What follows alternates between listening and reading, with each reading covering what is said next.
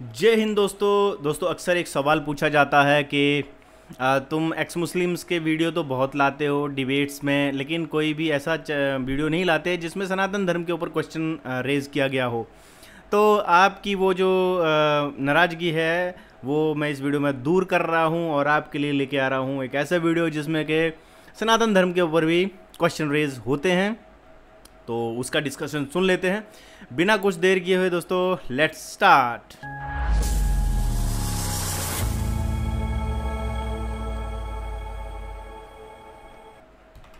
जी मैं अपनी बात बोले।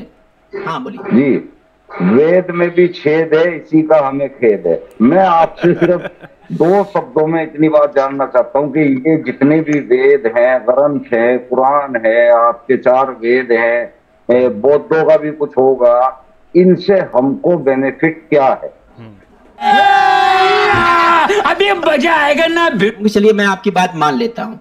कि वेद में भी छेद है हो सकता है कि वैसे वेद में छेद हो भी ना लेकिन मैं सही सही बोल रहा हूँ समीम भाई वेद से कहीं ज़्यादा छेद आपकी पूरी बॉडी में है। तो अगर आप छेद ही देखना पसंद करते हैं अगर आप छेद ही देखना पसंद करते हैं तो वेदों से पहले अपने पूरी बॉडी के छेद गिन लीजिए कि प्रकृति ने अगर भगवान तो आप मानते नहीं है वैसे आपकी भाषा से लग गया तो प्रकृति ने आपकी पूरी बॉडी में कितने छेद बनाए हैं मेरे आगे भी लिखा हुआ है वास्तविक भी नास्तिक होगा होता है। समीम भाई अगर आपने कहा तो सुनिए। मैं बता रहा हूँ कि अब वेद में एक छेद हो या दस छेद हो या जितने भी धर्म ग्रंथ है उसमें छेद होगा लेकिन उनसे कहीं ज़्यादा छेद खुद आपकी पूरी बॉडी में बनाया है प्रकृति ने। ठीक है हमारे छेद से भरा हुआ है। समझ रहे हो? समझ रहे हो आप? समझ रहे हो? कि देखो समीम भाई अब हम चूँकि जिनकी खुद ही शरीर में बहत्तर छेद हो अब उनको दिक्कत क्या है कि कुछ लोग सिर्फ़ छेद ही देखते हैं। क्योंकि इसमें आपकी गलती नहीं है सर। बिल्कुल आपकी गलती नहीं है। ये अपना अपना नेचर होता है।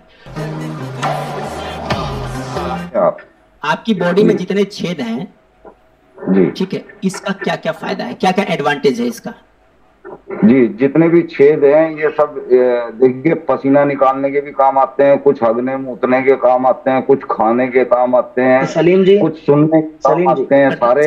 आपको भेजूँगा। आपके पास भेजूँगा इनको हाँ। बोले भाई बोला अपने छेद अपने छेद का काम बताएँ सर हाँ। दिए भैया जी आप तो। जैसा कि आपने कहा कि आपके जितने छेद हैं सारे छेद का आपका अपना अलग अलग काम है। कहीं से आप पसीना निकालते हैं कहीं से हक देते हैं कहीं से मूत देते हैं ये आपका अपना लॉजिक है। अच्छी बात है सर। अब चूँकि अपने छेदों के बारे में आपको इसलिए पता है कि अपने छेदों पर आपने डीप रिसर्च किया हुआ है। या अपने छेदों से आप अपने बचपन से आप अपने छेदों से जुड़े हुए हैं तो आपको पता है कि आपके छेद की कौन सी क्या क्या उपलब्धि है। अब मैं आपसे पूछना चाहता हूँ कि क्या आपने वेद पढ़ा है? नहीं पढ़ा। कुरान पढ़ा है सर? हाँ जी पढ़ा ठीक है। वेद नहीं पढ़ा ना आपने? नहीं जी। लेकिन काफ़ी अच्छा। कुछ जानता हूँ पढ़ा नहीं है हाँ, सुना जो, जो जानते होंगे अलग बात है। जानते होंगे अलग बात है। व्हाट्सएप यूनिवर्सिटी में बहुत चीज़ें घूमती रहती है तो व्हाट्सएप यूनिवर्सिटी हाँ, से। जानते होंगे तो अलग बात है। सच में पढ़ा है या नहीं पढ़ा ये बताइए। नहीं पढ़ा। नहीं पढ़ा। तो जब वेद पढ़ा नहीं तो मैं वेद पर आपसे बात करूँगा नहीं। आपने खुद स्वीकार किया कि आपने वेद नहीं पढ़ा है? हो सकता है कि फेसबुक हम्म। और व्हाट्सएप यूनिवर्सिटी से आपने थोड़ा बहुत ज्ञान अर्जित कर लिया है। मैं ये नहीं करूँगा आपसे वेद पर बात नहीं करूँगा करूँगा। लेकिन आपसे ये पूछना चाहता हूँ कि आपने ये कहा कि सब में छेद है। आपने कहा वेद में भी है कुरान में भी है बाइबल में भी आपने सबको टारगेट करते हुए ये कहा कि भाई सब में प्रॉब्लम है। राइट अब सब में प्रॉब्लम है ये ऐसा तो आपने कह दिया लेकिन अब सबकी प्रॉब्लम जानने के लिए आपने डीपली अध्ययन किया है? आपने ज़्यादा मुझे अध्ययन नहीं अगर मैंने अध्ययन किया होता तो मैं आपको बताने आता कि इसमें ये फ़ायदे हैं और ये अरे सर आपने नहीं नहीं नहीं, नहीं। सुनो सर नहीं ऐसे नहीं होता है। आपने छेद जो शब्द यूज़ किया है कि सब में छेद है इससे ये पता चलता है कि आपने सभी छेदों को खोजा हुआ है। तभी तो आप सब में छेद कह रहे हो ना सर?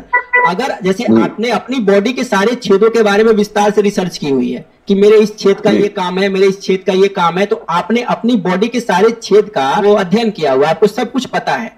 तो जब आपको अगर आपको ये नहीं पता होता कि मुँह वाले छेद से हगना है कि पीछे वाले छेद से हगना है थोड़ा हमारा भाषा अलग हो रहा है क्योंकि आपने यूज़ ही ऐसा किया हुआ है तो इंसानों के छेद के बारे में मैंने नहीं पढ़ा है वो भी मैंने लोगों से ही जानकारी ली है विज्ञान से जानकारी ली है। आप वेद के ज्ञाता हैं तो मैं आपसे वेद पे कुछ पूछने के लिए आया हूँ आपका तो मैं कहाँ मना कर रहा हूँ सर।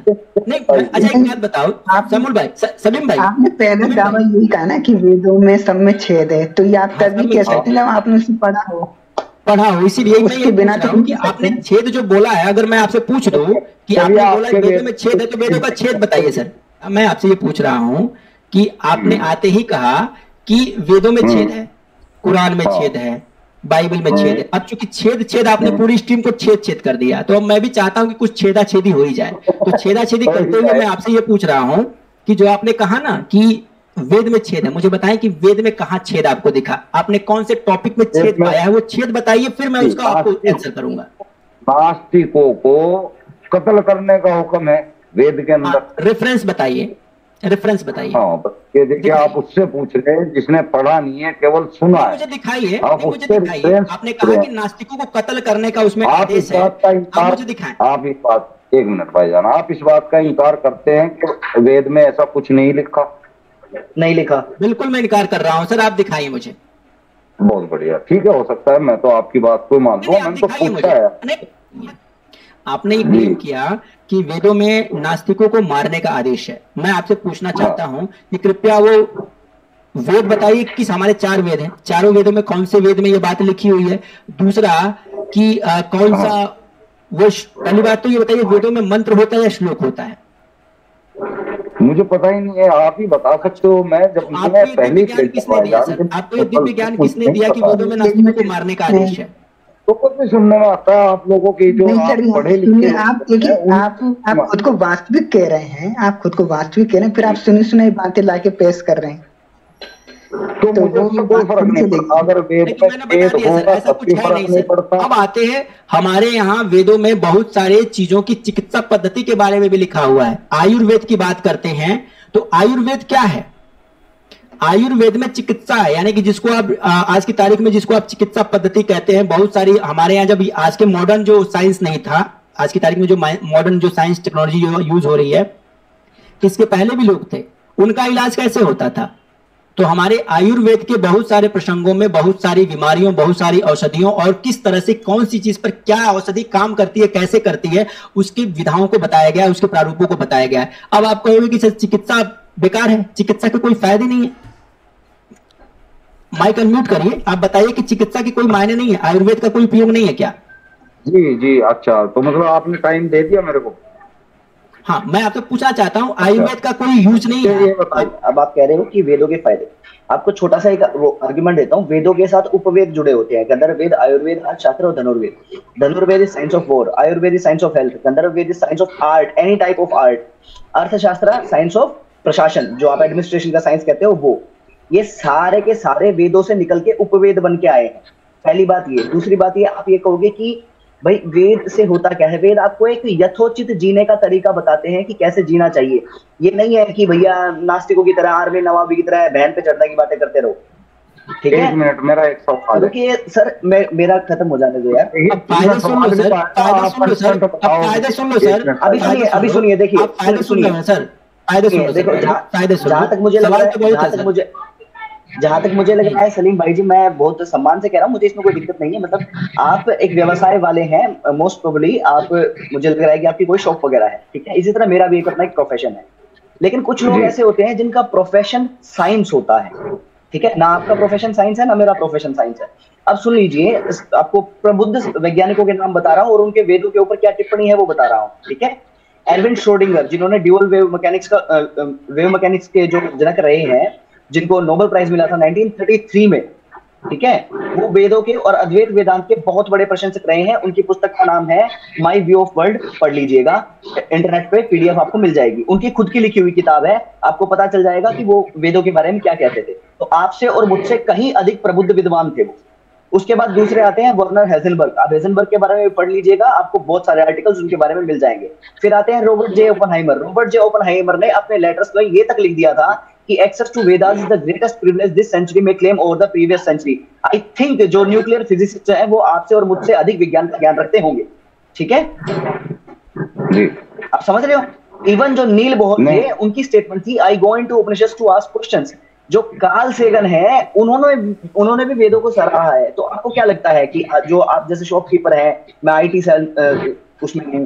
तो आपको क्या लगता है कि मतलब हमें हमें ज़्यादा ज्ञान होगा या उन्हें ज़्यादा ज्ञान होगा? सराहने वाले लाखों लोग हैं करोड़ों लोग हैं कुरान को सराहने वाले।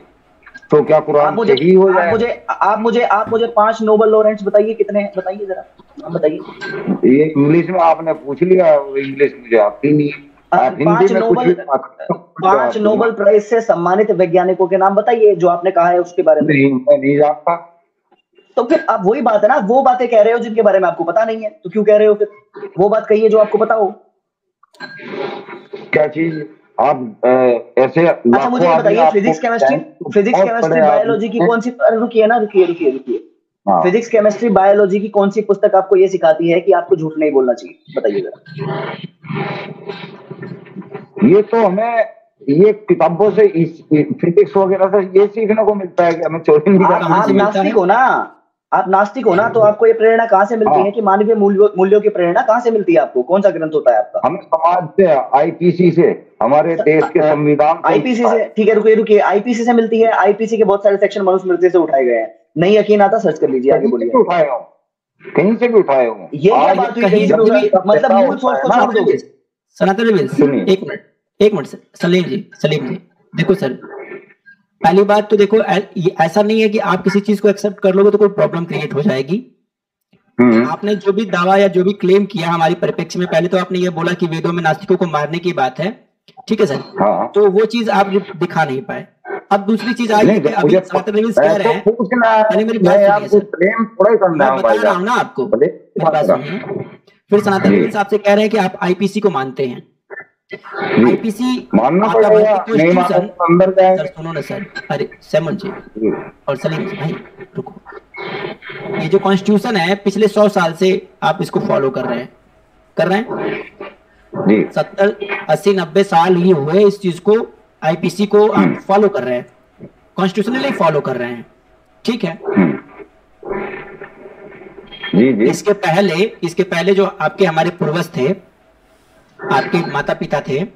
जब कॉन्स्टिट्यूशन नहीं था तो वो कैसे सीखते थे कि हमें सत्य बोलना है हमें अच्छा काम करना है हमें अच्छे कर्म करने हैं हमें झूठ नहीं बोलना है हमें चोरी नहीं करनी है हमें पाप नहीं करना है हमें किसी को दुख नहीं पहुंचाना है। वो कैसे सीखते थे? जब आईपीसी की धाराएँ नहीं थी या आईपीसी नहीं था तब कैसे सीखते थे आपके? इसका मतलब आपने आईपीसी के आईपीसी से आपने जान लिया। मेरी पूरी बात सुनिए। आपने आईपीसी की आपने आईपीसी से ये जान लिया कि मुझे चोरी नहीं करनी है।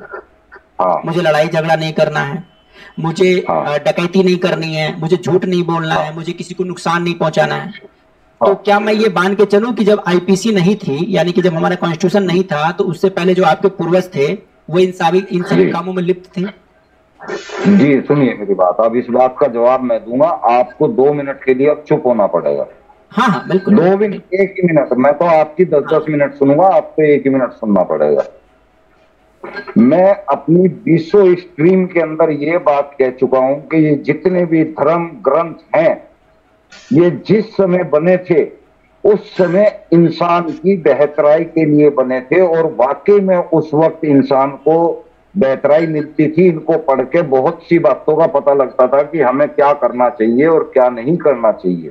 लेकिन अब इंसान इतना डेवलप हो चुका है कि उसको ग्रंथ पढ़ने की ज़रूरत नहीं है उसको पता होता है कि हमें क्या करना चाहिए और क्या नहीं करना चाहिए। तो ये बताइए मुझे कि आज इन ग्रंथों का क्या मतलब है और क्या फ़ायदा है जब हमें सब कुछ पता है? हम्म, चलिए। उस समय आपको की बात अलग कर दी मैंने। ठीक आपको सब कुछ पता है। आपने अभी ये स्वीकार किया कि जिस समय ये धर्म ग्रंथ बने या जिस समय इन धर्म शास्त्रों की रचना की गई थी तो उस समय हम्म, ये उपयोगी थे। सही है? हाँ। और उस समय और उस समय इन धार्मिक ग्रंथों में ये बात लिखी हुई थी कि चोरी नहीं करनी है। बहुत सी ऐसी बातें हैं अच्छी अच्छी। नहीं मैं मैं मैं जो पूछता जा रहा हूँ उसको बस आंसर करते जाइएगा कि मतलब हाँ। आज से जिस जितना भी पहले जो धार्मिक ग्रंथ लिखे गए उससे पहले ये बताया गया कि धार्मिक ग्रंथों में ये लिखा हुआ है चोरी नहीं करना है झूठ नहीं हम्म। बोलना है हम्म, किसी को नुकसान नहीं पहुंचाना है ठीक है? हम्म, स्वाध्याय करना है यानी कि पढ़ाई लिखाई करनी है अध्ययन करना है पढ़ते लिखते रहना है ठीक है? हम्म, तो जब आज से पहले यानी कि जो आज आप आईपीसी के अंतर्गत जो चीज़ समझ रहे हैं जब यही चीज़ आज से हज़ारों साल पहले जब आपको उन ग्रंथों ने बता दिया है कि आपको ऐसे जीवन जीना है आपको ऐसे काम करना है तो अब आप कह रहे हैं कि अब उनकी क्या ज़रूरत है? यानी कि आप ये कह रहे हैं कि आज से पहले जब मेरे बाप दादा रहे पूर्वज जब हमारे रहे ठीक है? तो उन्होंने हमको पैदा कर दिया। अब तो हम पैदा हो गए हैं। अब तो हमारे पंख उगाए हैं। अब तो हम भाई उड़ने लगे हैं। तो अब हम अपने बाप दादाओं को अपना बाप दादा नहीं कहेंगे अब उनको अपना पूर्वज नहीं कहेंगे अब हम ये नहीं कहेंगे कि सलीम खान के पापा जी का नाम अहमद खान था हम ये नहीं कहेंगे कि पापा जी का नाम फलाना खान था। यहाँ पूर्वजों के ऊपर आप सर कहाँ आ रहे हैं? नहीं नहीं क्यों नहीं जाएँगे सर? ये, नहीं ये कोई बात नहीं होती। मैं आपकी बात का सिर्फ़ आंसर कर रहा हूँ। जिस तरह से आप अपनी बात को आंसर कर रहे हैं उसी तरह से मैं हम्म। आपकी बात का आंसर कर रहा हूँ कि ये कहाँ पर लिखा हुआ है कि हम एहसान फरामोश हो जाए। यानी कि जिन धार्मिक चीज़ों से या जिन अब वो धार्मिक ग्रंथ का फ़ायदा आप पूछ रहे थे ना? चोरी नहीं करोगे सब दंडे नहीं बताइए। धार्मिक ग्रंथों के फ़ायदे आपने खुद बता दिए हैं। मेरी बात सुनिए। दर्शकों ने भी सुना है। मेरी बात सुने सर। मेरी बात सुने अभी आग जलवाऊँगा मैं आपसे। मैं आपसे आग जलवाऊँगा बीच में मत काटिए। नहीं पत्थर तो आज भी रगड़ते नहीं कि जंगल में फंस जाए माचिस आप पत्थर तो रगड़ना पड़ेगा। हैं। अरे भाई रुको ना नहीं लाइटर का हूँ आप जंगल में। फंस जाओ आपका लाइटर ना हो कुछ भी ना हो। लाइटर का पेट्रोल खत्म हो गया। ना माचिस से भूल गए माचिस ले जाना। आग की सख्त ज़रूरत है तो आप भी पत्थर रगड़ोगे। थोड़ा रुक जाइए, मैं इनसे रगड़वाता हूँ ना पत्थर, अभी रगड़ेंगे ये। दर्शकों, ये हमसे पूछ रहे थे कि ग्रंथों के फ़ायदे बताओ, मानव जीवन में उनकी उपयोगिता बताओ, और अभी इन्होंने खुद ही अपने मुँह से ये स्वीकार किया है कि उन धार्मिक ग्रंथों के महत्व थे, उनसे तत्कालीन मानव समाज जो था वो उनसे प्रभावित होता था और उसमें निहित बातों का पालन करता था और अपने जन जीवन को बेहतर तरीके से जीता था। इन्होंने खुद ही इस चीज़ को अभी अभी क्लेम किया है। तो अब ये इस चीज़ को पूछने के अधिकारी नहीं रह गए कि धार्मिक ग्रंथों के फ़ायदे बताइए क्योंकि फ़ायदे इन्होंने खुद ही बता दिया है। और ये ये भी मान रहे हैं कि भैया आईपीसी से इन्होंने सीखा है कि चोरी नहीं करनी है। और आप आपने जो कहा है मैं वही बोल रहा हूँ। आपने जो कहा है मैं वही बोल रहा हूँ। आप लेकर चलेंगे पाषाणी में। युग में अभी लेके चलता हूँ ना। देखो भाई देखो ऐसे नहीं चलता है। आपने जो कहा है मैं वही चीज़ बोल रहा हूँ। जो आपने कहा है मैं उसी चीज़ को बोल रहा हूँ बाकी किसी चीज़ को बोल नहीं रहा हूँ।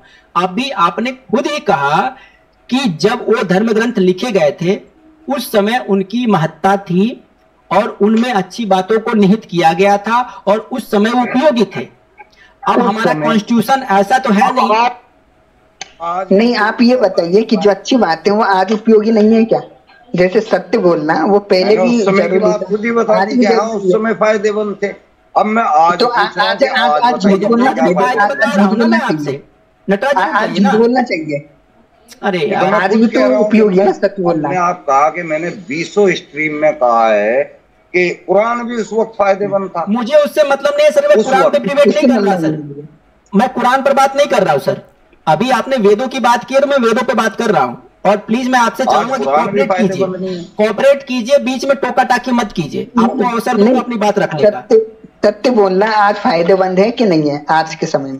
आपने अभी कहा वो बात दो साल पहले लिखी मैं उसी चीज़ को एक्सप्लेन कर रहा हूँ।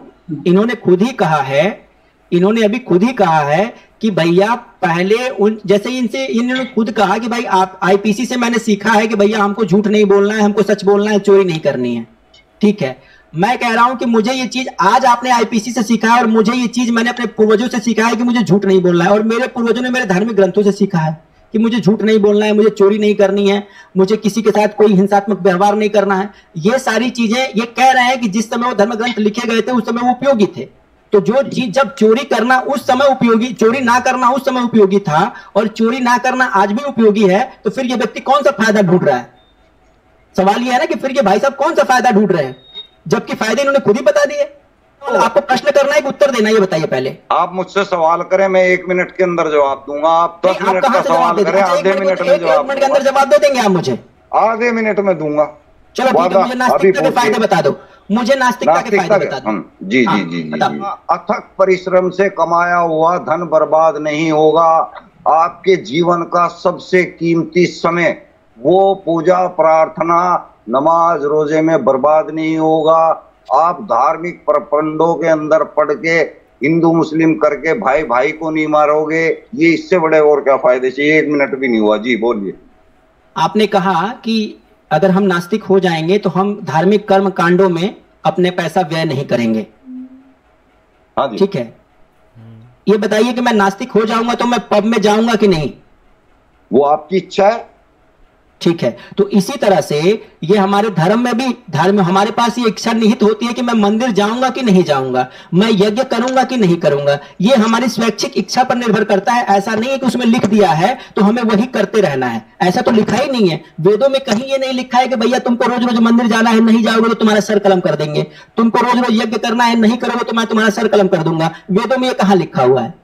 मैं आपको चैलेंज करता हूँ मैं आपको चैलेंज करता हूँ। आपकी पूरी नास्तिक कम्युनिटी को चैलेंज करता हूँ कि वेदों में हमारे किसी भी धर्मशास्त्र में सिर्फ़ एक लाइन ये दिखा दो कि जहाँ पर ये लिखा हो कि ये काम नहीं करो तो मैं तुम्हारा सर कलम कर दूँगा। तो इन्होंने कहा कि अगर हम धार्मिक रहेंगे तो धर्म ग्रंथों में लिखे हुए कार्यों को करना पड़ेगा तो हमारा पैसा वेस्ट हो जाएगा।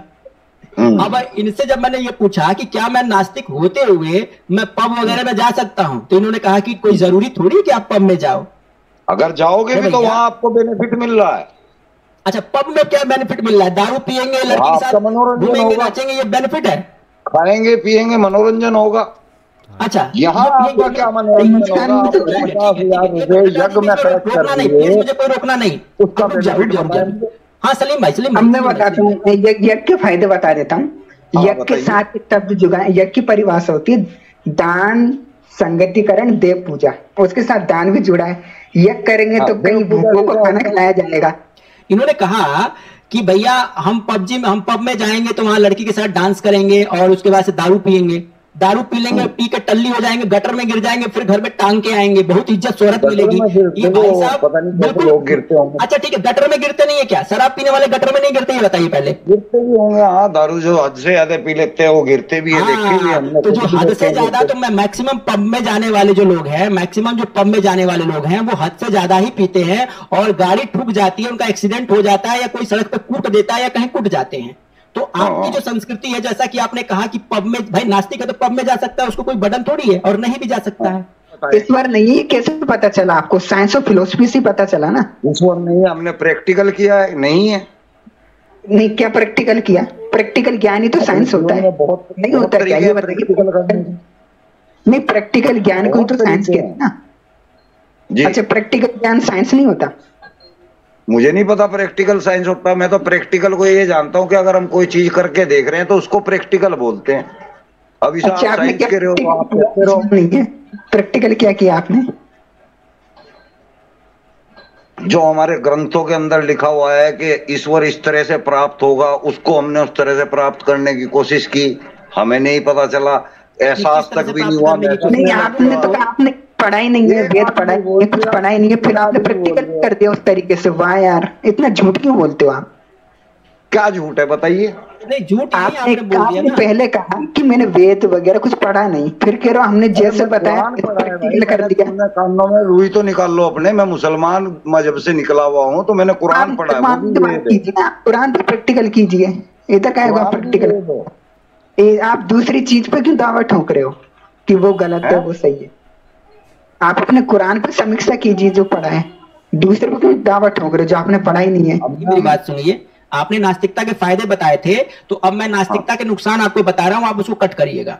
बताइए। नास्तिकों के कोई नैतिक मूल्य नहीं होते। एक एक है। एक एक नुकसान बताइए उसका मैं वही बोलने जा रहा हूँ सर। नास्तिकों के पास कोई नैतिक मूल्य नहीं होता।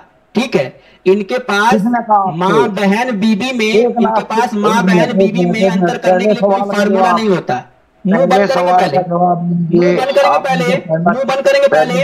आपने नास्तिकता के फ़ायदे बताए मैं नास्तिकता का नुकसान बता रहा हूँ तो क्यों रो रहे हो?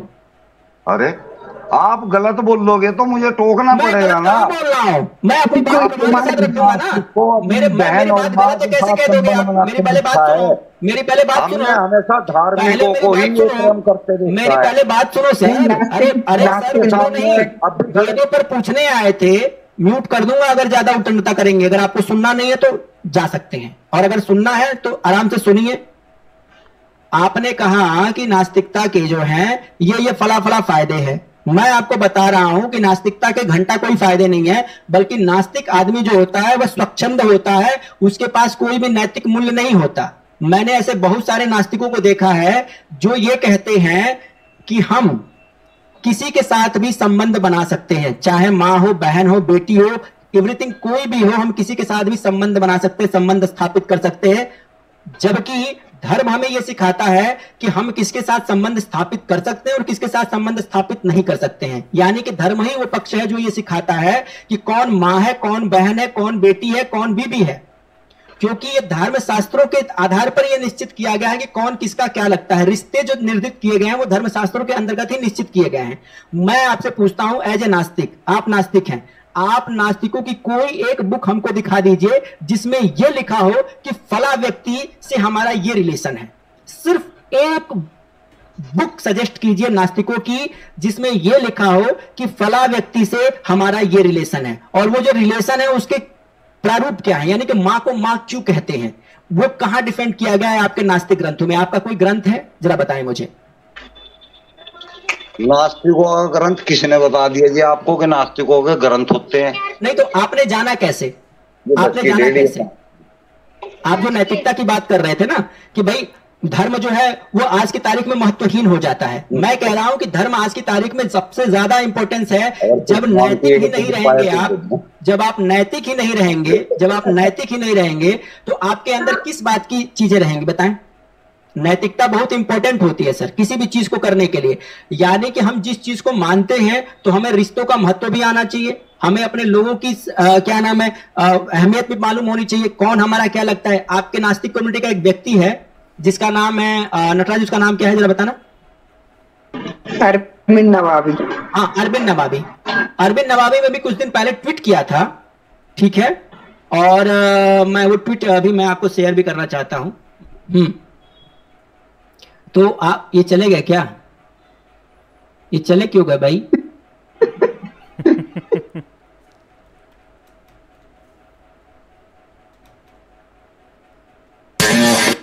तो दोस्तों, आपने ये वीडियो देखा और इस पूरे वीडियो में जो निष्कर्ष, जो कंक्लूजन निकल के आता है, वो मैं आपके सामने लेके आऊँगा। थोड़ा सा पेशेंस रखिए। मैं वन बाय वन बताऊँगा शुरू में तो वो छेद पे बात हुई कि वेदों में छेद है तो उन्होंने फिर छेद का जवाब दिया कि भैया, शरीर में भी छः हैं, छः छः, नौ छेद होते हैं, छः नहीं, नौ होते हैं। तो छेद के ऊपर उन्होंने फिर बोला कि आपके वेदों में लिखा हुआ कि नास्तिकों को मार दो। तो रेफरेंस मांगा तो उन्होंने रेफरेंस नहीं दे पाए। तो ये एक पॉइंट था। दूसरा था कि उसके बाद इन्होंने एक्सप्लेनेशन करा कि वेदों के क्या फ़ायदे हैं। तो उसमें जो मुझे समझ में आया, वो समझ में आया कि जो धर्म के जो लक्षण है, धर्म की जो डेफिनेशन है, वो यहाँ पर बताई गई। ठीक है? धृति क्षमा दमो रस्त्य सोचम इंद्री निर्ग, निर्गृहम धीर विद्या सत्यम क्रोधो दशकम धर्म लक्षणम। तो ये दस धर्म के लक्षण हैं। ठीक है? तो इसका मैंने पहले वाले वीडियो में भी बताया था कि इसका क्या मतलब है। धृति क्षमा दमोरस्त्य सोचम इंद्री निर्गृहम इसका मतलब यही है कि हमें क्षमाशील होना चाहिए, हमें हमेशा मनन चिंतन करना चाहिए, ज्ञान पाना चाहिए, हमें कभी झूठ नहीं बोलना चाहिए, हमें जो है वो किसी के साथ बुरा नहीं करना चाहिए, हमें कभी क्रोध नहीं करना चाहिए। तो ये कुछ दस धर्म के लक्षण जो है बताए गए थे मनुस्मृति में तो धर्म की डेफिनेशन जो है वो सिर्फ़ एक ही शास्त्र में मिलती है पूरे विश्व में। जो बोलते हैं धर्म धर्म, ये तुम्हारा धर्म, मेरा धर्म धर्म दो नहीं होते हैं, धर्म एक होता है, वो होता है मानवता का धर्म और मानवता के धर्म की जो जो डेफिनेशन है वो मनुस्मृति में लिखी हुई है। तो मैं उस चीज़ से एग्री भी करता हूँ कि बहुत बढ़िया चीज़ है जो मुझे कहीं नहीं दिखी। मुझे किसी भी शास्त्र में धर्म की डेफिनेशन नहीं मिली जो जनरल कॉमन मैन के लिए ली ली गई हो।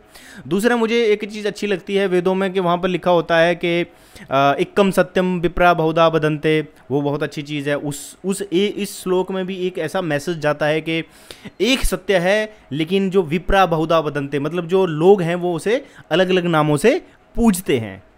यहाँ पर जो मुस्लिम्स हैं, उनकी एक जो डाउट है, वो क्लियर हो सकता है। वो बोलते हैं ना, एक भगवान है, एक खुदा है।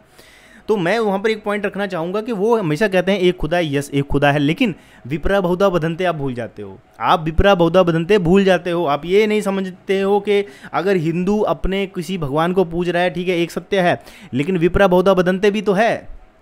एकम सत्यम विपरा बहुधा वदंते को आप मुसलमानों भूल जाते हो। ये थोड़ा सा याद रखो, आप इस चीज़ को दिमाग में रखो। किसी के आइडल को तोड़ना बिल्कुल गलत है, क्योंकि वो आइडल उसका पूर्वज हो सकता है, वो आइडल उसका इष्ट देव हो सकता है, उसका पित्र हो सकता है। ठीक है? हम गाँव में जाते हैं, हमारे गाँव में हमेशा आइडल्स अलग से रखे होते हैं। हमारे ऐसे पूर्वज होते हैं जिनके बच्चे नहीं होते थे तो वो, उनको बोला जाता था कि औतर बोलते हैं उनको। तो उन, उनके जो उनके जो हमने आइडल बना के रखे होते हैं, गाँव आज भी उनको पूछता है। क्योंकि मैं कोर विलेज से आता हूँ तो विलेज में मैं आपको सारी चीज़ें बता सकता हूँ। जो जातिवाद पे भी बहुत, लोग गलत फलत बोलते हैं, उस पर भी मैं कोर से आता हूँ तो मुझे पता है जाति प्रथा। की कितनी इंपॉर्टेंस है समाज के लिए। और ये तो रही इसकी बात। दूसरा नास्तिकों के उसने बोला नास्तिक होने के फ़ायदे हैं कि आपको टेंशन नहीं लेनी है आपको अपना टाइम वेस्ट नहीं करना है आप मंदिर नहीं जा, जा जाने में टाइम वेस्ट नहीं करोगे आप भगवान की पूजा करने में टाइम वेस्ट नहीं करोगे। लेकिन जो नास्तिक है ये सामने देखो ट्वीट आपके सामने है। ये है नास्तिकों का आ, सोच। ये नास्तिकों की सोच है। आ, मैं नहीं चाहता कि कोई कट्टरवाद की तरफ़ जाए कोई कोई बहुत ही कोर रिलीजियस की तरफ़ चला जाए, नहीं, ये तो तुम्हें करना ही है। लेकिन सिर्फ़ दुनिया में एक ही चीज़ जो एक ही धर्म है, जो सनातन धर्म है, जो मुझे लगता है कि वहाँ पर कभी भी कोई बंदिश नहीं है, वहाँ पर कोई भी रिस्ट्रिक्शंस नहीं है। मैं कोई प्रमोट नहीं कर रहा हूँ, ये चीज़ आप बिल्कुल ध्यान में रख लीजिए, ये रियल फैक्ट है कि एक मैं आपको घटना सुनाना चाहूँगा कि कश्मीर में एक अभी रिसेंट हुआ था, जब ये इनके रोज़े चल रहे थे तो वहाँ पर एक एक मतलब ड्राइवर था तो वो उस ड्राइवर ने क्या किया कि उसको बोला कि तुम ना चाय पी लो। तो वो वैसे खड़ा था बाहर और मतलब उसको बोला गया कि अंदर की तरफ़ आ जा और यहाँ पर मतलब कोई रेडी थी बाहर, उस वहाँ पर उसको बोला, चाय पी ले। तो उसने बोला, रोज़े हैं तो मैं चाय तो पी लूँगा, लेकिन यहाँ यहाँ नहीं पी सकता। बोला, क्यों? क्योंकि मैं यहाँ पीऊँगा तो ना मेरे बाकी मुस्लिम दोस्त ना मेरे को चाय मारेंगे वो पकड़ के कि भाई तू रमज़ान चल रहा है, रोज़े चल रहे हैं और तू चाय पी रहा है। कह रहा, मैं छुप के पी सकता हूँ, अंदर पी सकता हूँ, किसी को पता ना चले मैं पी सकता हूँ, लेकिन बाहर पीऊँगा तो वो मुझे मारेंगे। तो ये सनातन धर्म हमारे में है कि यहाँ पर कोई बोलता नहीं है भाई कुछ भी। आप अगर फास्ट भी रख रहे हो तो आपको कोई कुछ रिस्ट्रिक्शन नहीं है। और नास्तिकों का प्रॉब्लम सबसे बड़ा पता क्या है? नास्तिकों का प्रॉब्लम ये एक और भी है। मान लो कोई, जैसे व्रत रखता है तो उसके फ़ायदे होते हैं कि ठीक है भाई, अपने अपने पेट के लिए, अपने मतलब आप सोचते हो कि एक दिन मैं रेस्ट दूँगा अपने डाइजेस्टिव सिस्टम को तो नास्तिक बोलते अरे, तूने व्रत रखा है? अरे, किस चीज़ का व्रत है? अरे, क्या व्रत है? वो उस उस चीज़ में पड़ जाते हैं, ठीक है? अब एक बंदा है वो अपना कुछ भी आ, मान रहा है तो तुम उसे ज़बरदस्ती मतलब वो करोगे प्रोवोक करोगे। वो लोग ही पब्स में जाकर दारू पीते हैं अपना टाइम वहाँ पर वेस्ट करते हैं तब उनको बिल्कुल भी ध्यान नहीं होता कि भैया मेरा टाइम वेस्ट हो रहा है। लेकिन जब वो मंदिर चले जाए तो मंदिर जाने से टाइम वेस्ट होता है। मंदिर जाने से जो है नैतिक मूल्यों की समझ आती है। आप जब मंदिर में जाते हो आपके अंदर एक इंसान के प्रति जीव के प्रति एक अच्छा भाव आता है। ठीक है? जाओ न जाओ आपकी अपनी इच्छा है। वैसे कहते हैं मंदिर मन के अंदर क्योंकि मंदिर का जो मतलब है मन अंदर मन के अंदर ठीक है? तो हमें तो डेफिनेशन भी भाई साहब बहुत क्लियर है। मन के अंदर। इट्स नॉट आउटसाइड इट्स मन के अंदर। तो हमारे में तो ऐसा भी है कि हम जहाँ भी बैठे होते हैं वही भी, भी मन, मंदिर है हर जगह मंदिर है कोई रिस्ट्रिक्शंस नहीं है। ये मुझे बहुत अच्छी चीज़ लगी। नास्तिक का मतलब है वो मानता ही नहीं है कि भगवान है। ठीक है, वो मानता ही नहीं भगवान है। लेकिन मैं एक छोटा सा अभी एक और पॉइंट यहाँ पर रख दूँगा कि बेसिकली जो हमारे जो देवता होते हैं, जैसे मैं मैं मानता हूँ, अपने आप जानता हूँ, मैं जैसे सूर्य हैं।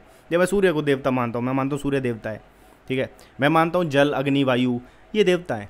मैं जहाँ, मानता हूँ धरती अब हमारी बोलते हैं, हम बोलते हैं ना बंदे मातरम, जय हिंद ठीक है। तो मैं मानता हूँ कि धरती हमारी माता है, जिसने हमें यहाँ पर पाला हुआ है। आप भी मानते होंगे। आप भी मानते होंगे कि जल देवता है, आप भी मानते होंगे अग्नि देव है, आप भी मानते होंगे सूर्य देव है, धरती देव है। हमसे बड़े हैं ना? आप धरती को कुछ कर सकते हो। आप धरती से बड़े हो। ये भगवान नहीं है क्या? ग्रेविटेशनल फोर्स है ना?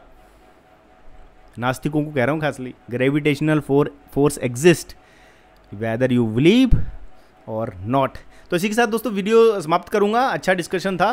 काफ़ी कुछ जानने सीखने को मिला इससे और आप भी, आपको भी वीडियो अच्छा लगा होगा। अगर आपको वीडियो अच्छा लगा तो लाइक ज़रूर कीजिए शेयर ज़रूर कीजिए। ऐसे ही वीडियो लेके आता रहूँगा। इसका लिंक जो है वीडियो का डिस्क्रिप्शन में है। आप इसको पूरा देख सकते हैं सनातन समीक्षा चैनल पर और इसी के साथ दोस्तों वीडियो समाप्त करता हूँ। मिलूँगा नेक्स्ट वीडियो में। जय हिंद।